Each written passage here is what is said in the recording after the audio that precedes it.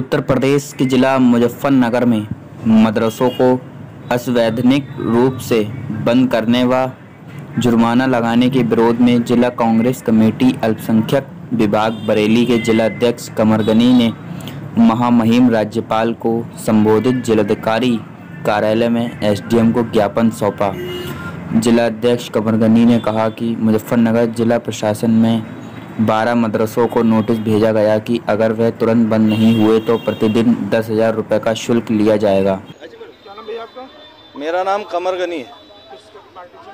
मैं जिला कांग्रेस कमेटी अल्पसंख्यक विभाग बरेली का जिला अध्यक्ष हूँ। ज़िला मुजफ्फरनगर में ज़िला प्रशासन द्वारा लगभग 12 मदरसों को नोटिस भेजे गए हैं। उन उसमें ये कहा गया है कि अगर आप मदरसे बंद नहीं करेंगे तो द, दस हज़ार रुपये पर डे के हिसाब से जुर्माना लगाया जाएगा।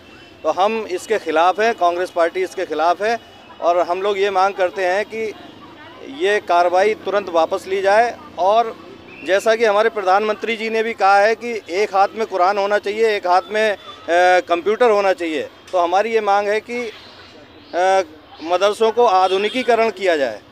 ताकि हमारे मदरसे के छात्रों को जो है फ़ायदा मिले। ये अभी कोई वजह साफ़ नहीं हुई है, लेकिन जो जिला प्रशासन द्वारा ये कार्रवाई की गई, ये निंदनीय है। हम लोग इसका विरोध करते हैं।